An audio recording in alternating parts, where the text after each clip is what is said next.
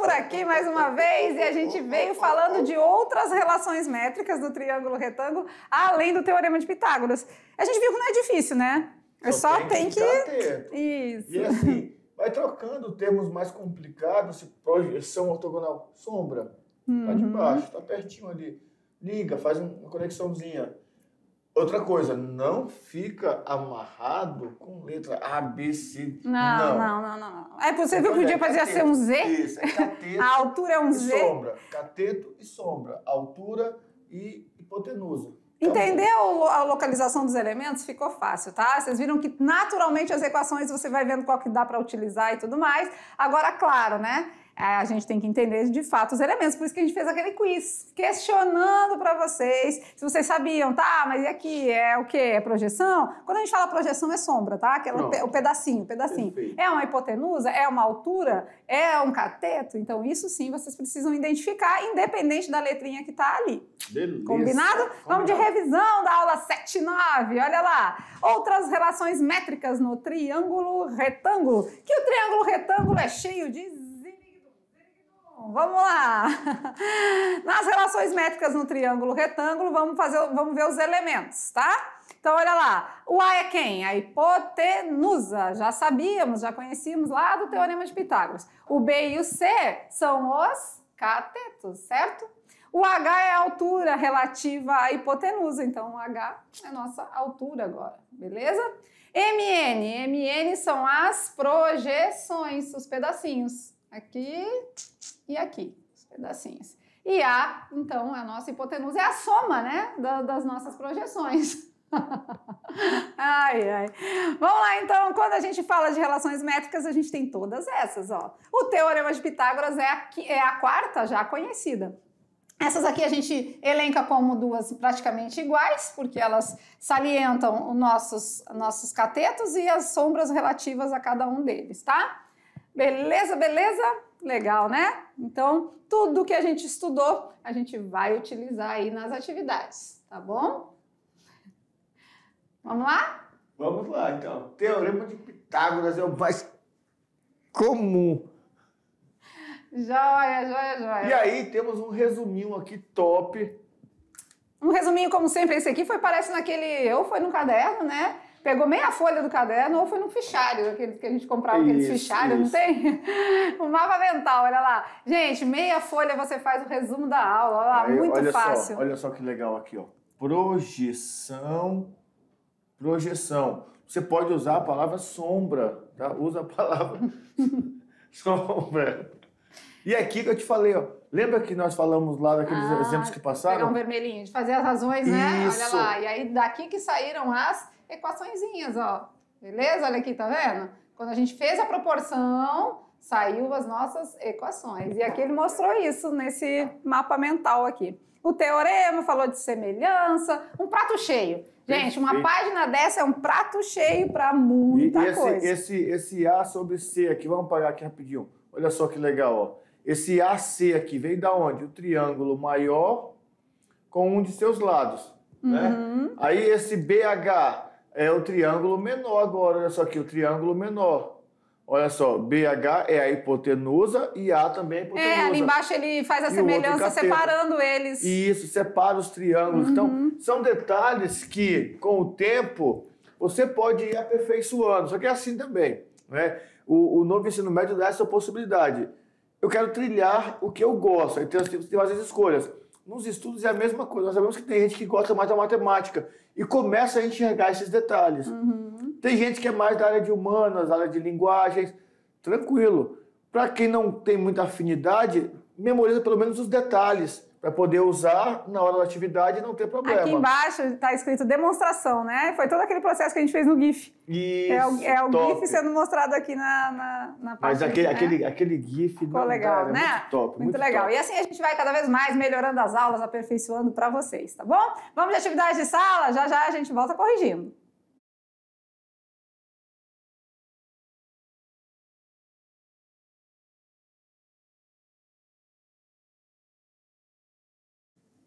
Certinho? Atividade Certo. sala na área e tudo top, né? Muito bacana, muito fácil, sem é, ficar preso em equações, sem ficar preso em letrinhas. A gente tem que entender o procedimento, o que está acontecendo, e aí a gente vai longe. vamos lá? Perfeito, vamos. Corrigindo então? Tirando as dúvidas, questão de número 1. Um.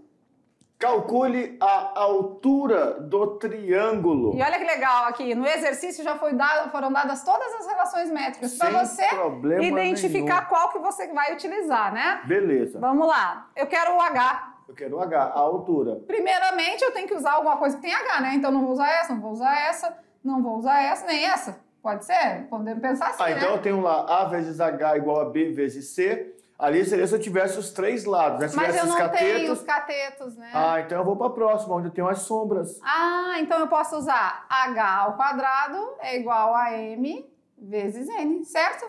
Quem é H? É o que eu estou procurando. As projeções, 6 vezes 12, ou 12 vezes 6 também, tanto faz, né? Na multiplicação, na, não se altera o resultado, a diferença entre os produtos, tá? 6 vezes 12, 6 vezes 12 dá 72. 72. Isso tem raiz exata? 72 não. Raiz de 72. Aí a gente Só pode... que 72 é 36 vezes 2. Ah, então a gente pode fazer assim, 36, ve 36 vezes 2. Ou seja, ou 2 vezes 36, né? É.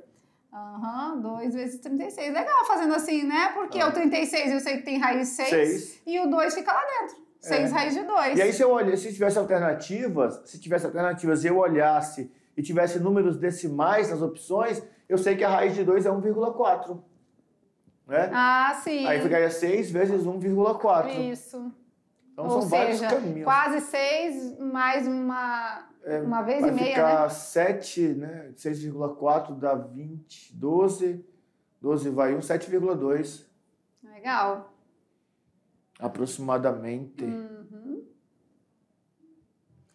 Legal? Bora ver? Bora. E agora, pergunta de número 2. Calcule a medida de x. Olha aí, aí, vamos lá. X é quem aqui? Pode X ser o é a- M, o N? Tanto faz. Eu tenho que saber um que M? x é a sombra do 16. É um M, né?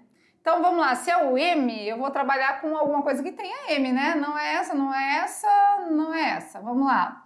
É, tem H para fazer M vezes N? Não. Não, né? Então não vou usar essa também, não. A é igual a M mais N, mas também não adianta não, muito, não, né? não tenho lá o, o. N, nem O o que, que M. eu tô tendo? Eu tô tendo aqui, ó, uma Tem. projeção, um C ou um B, pode ser, A vezes M. Tem Quem o é o C? É o cateto, 16. Ao quadrado. Quem é a hipotenusa? É 18. 18. Quem é o M é o que eu quero descobrir. 16 ao quadrado. 16 vezes 16. 256. 256 é igual a 18 vezes M. Tá multiplicando, passa Dividindo. dividindo, igual a M. 256 dividido por 18, 14,2. 14,2. 2. Um pedacinho aí quebradinho, né? Aí com isso a gente já sabe o N, né? Que é só fazer 18 menos 14,2. Certinho? Certinho. Beleza. Já?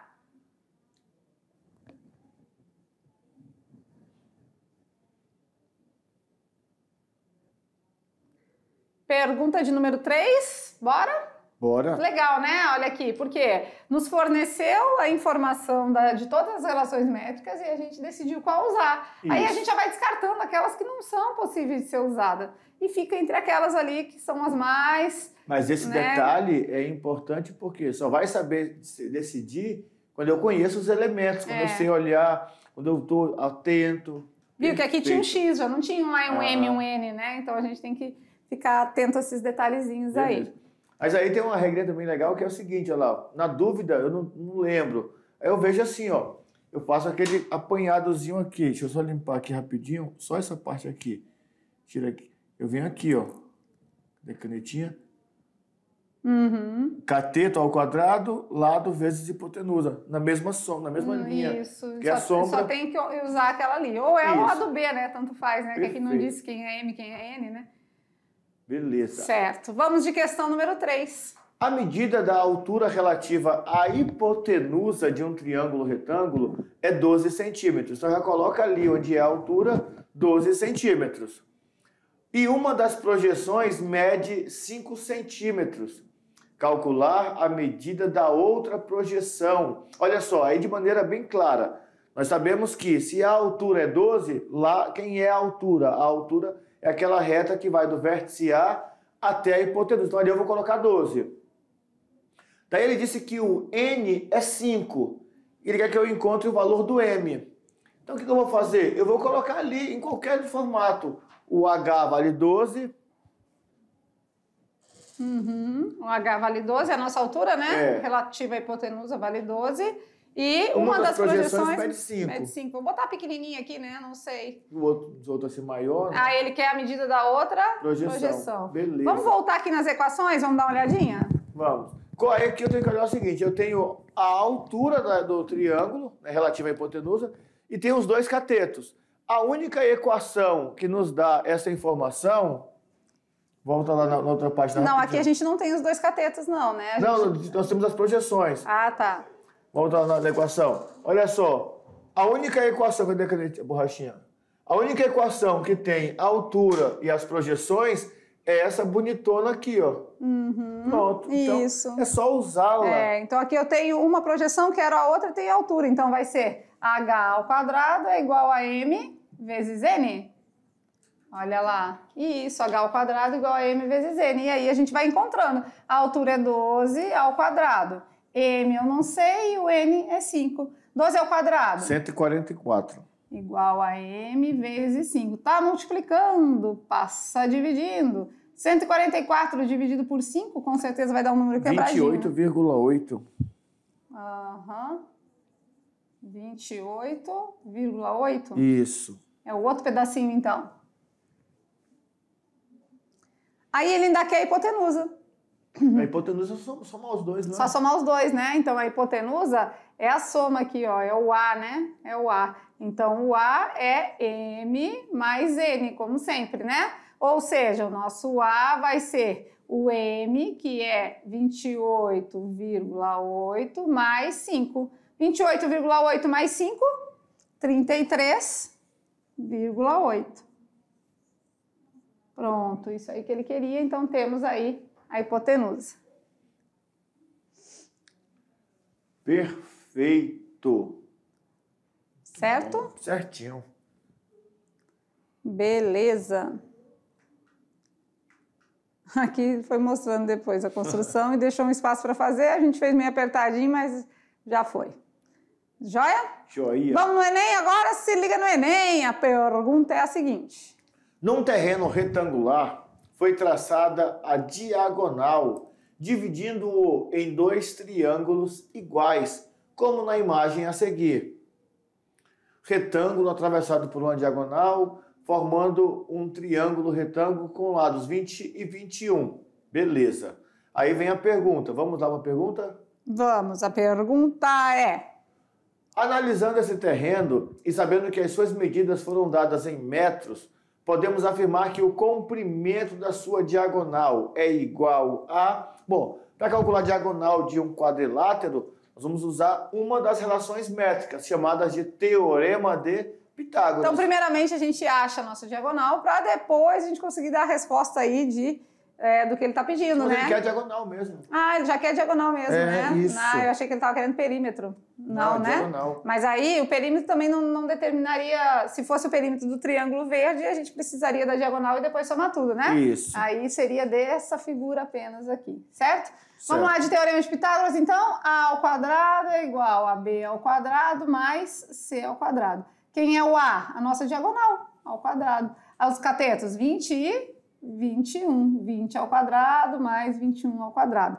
Já dá para ver que é uma raiz exata, né? Porque está dizendo alguma coisa de aproximadamente? Não, se não está dizendo, o resultado é exato, né? 20 vezes 20, Dá 400. 400. E 21 vezes 21?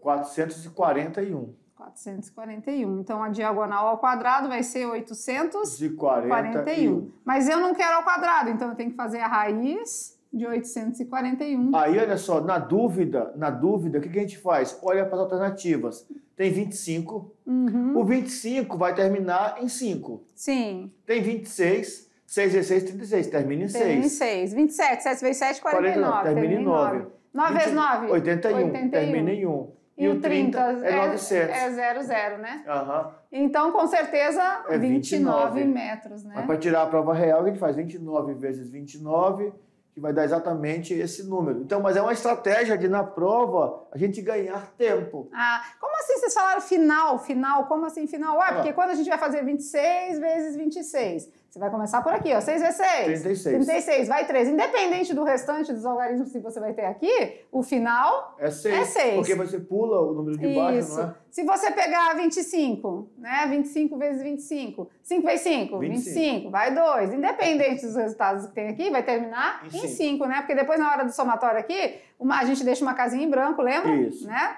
Se fosse, então, ah, o 27. Aí vai ficar 49. Isso. Então, assim que a gente faz, ó, usando o raciocínio lógico. 7 vezes 7, 49. 49. Bota o 9 e vai 4. Isso. Independente dos valores que tem aqui, E a no- termina em 9, né? E a nossa indicação está aqui, ó. É. O algarismo 1. O algarismo que termina é o 1, ou então, seja, precisamos procurar o, o número. único número que tem aqui é o 9 vezes 9, né? Se a gente botar aqui 29, 29, vai dar 81. 81. E aí deu certinho aí pra gente conseguir chegar a essa conclusão sem precisar calcular a raiz, a raiz quadrada, sem precisar decompor, fazer o fatoral, independente disso, qualquer coisa, qualquer resultado. Perfeito, perfeito, muito bom. E aí são dicas e detalhes que você vai anotando e vai tentando treinar, vai usando. Por quê? Eles serão muito importantes no Enem da vida. Né? Tem aluno, aqui deu 841, tá até pequeno, mas tem aluno que tem dificuldade com raiz. Vamos supor que desse 1024, opa, termina em 4, então só pode ser 20, é, terminado em 2 ou terminado em 8, porque 2 vezes 2 dá 4 e 8 vezes 8 dá 64. Aí na hora de testar, eu vou testar 12, é, 18, 22, 28, já diminui os, os testes. Isso. Ah, mas é 1000, 1000 está depois de 900, então é 30, 32 ou 38. Aí eu Isso. vou testando. E essa legal, essas estratégias de resolução, que a gente já fez várias, né? Muitas, A gente muitas. fez várias de maneiras diferentes aqui. Fatoramos. E, é, fatoramos, depois a gente. Não usou- multiplicou, Não, separou os radicais. Isso, separou os radicais, usou a, aproximada. aproximada. Então, assim, vários caminhos para chegar num resultado, isso é bem legal na matemática, né? Vamos de brincando com os números, vamos dar o Ah, era um resultado negócio, lá. Um negócio estranho lá, né? Era um teste de QI, Era. né? Eu nasci, eu, Há que dia 10 que eu nasci? anos atrás. Eu nasci há 10 mil anos e não tem nada. Ixi, agora empolgou. Olha lá, a pergunta era assim, ó. Há dois dias eu tinha 25 anos de idade. Há É dois verdade, é dias. verdade. Tá? Mas no ano que vem eu vou fazer, eu farei 28. Não, tá errado. Porque se eu tinha 25, eu faço 26. No ano que vem eu faço 27.